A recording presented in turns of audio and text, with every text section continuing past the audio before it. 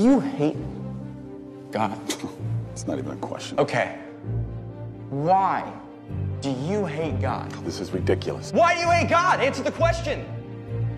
You've seen the science and the arguments. Science supports his existence. You know the truth. So why do you hate him? Why? It's a very simple question, Professor. Why do you hate God? Because he took everything away from me.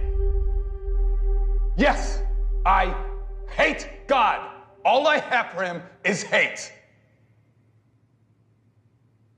How can you hate someone if they don't exist?